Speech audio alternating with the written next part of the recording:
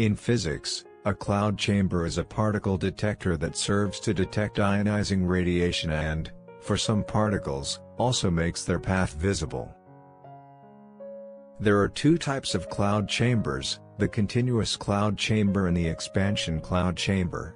In the continuous cloud chamber, cooling is done with dry ice or liquid nitrogen, the use of a compressor, or cooling of the detection surface with Peltier elements.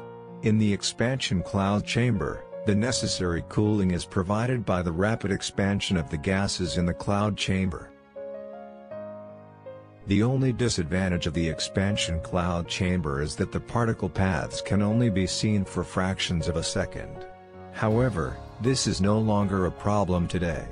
One simply films the complete process and then extracts individual images. The expansion cloud chamber was invented in 1911 by Scottish physicist Charles Thomson Rees Wilson. In 1927, he was awarded the Nobel Prize in Physics for his work. So what we are basically doing here is reproducing a Nobel Prize work. As a chamber, I use a PVC sleeve with an inner diameter of 75 mm and an outer diameter of 90 mm. Four M3 threads have to be cut into the sleeve to fix the plexiglass disc with a diameter of 100 mm and a thickness of 6 mm. For this purpose, I have drawn and printed out corresponding drilling templates.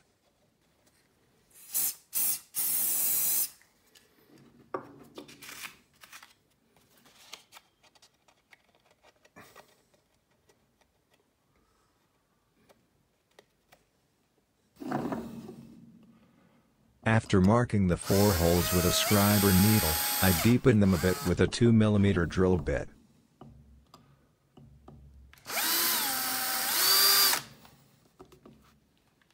Using my drill press, the holes were then enlarged to 2.4 mm. The depth of the holes should be 12 mm.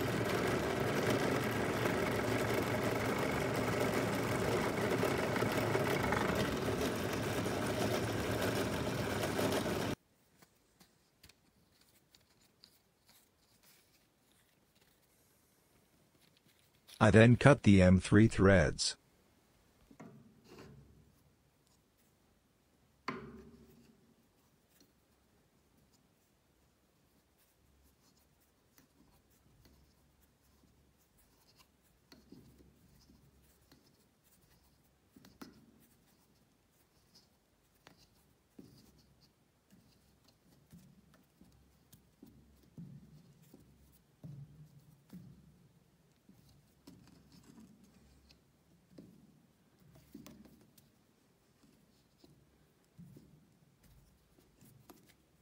The next step was to drill the holes in a plexiglass disc. It is important not to remove the protective foil yet.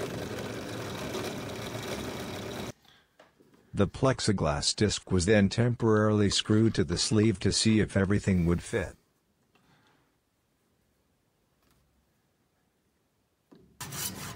After marking the cutting edge, the sleeve was shortened to 41 mm with a hacksaw.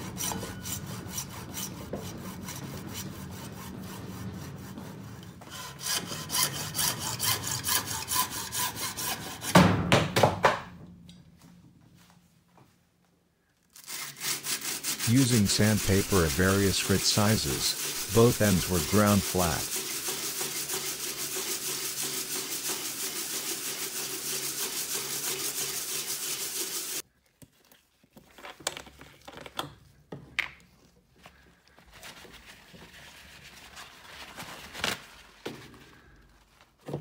Finally, I cleaned the chamber with isopropanol.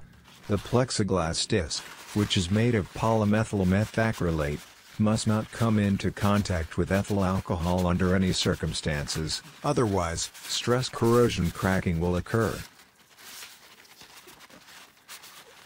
Thanks for watching and don't forget to subscribe.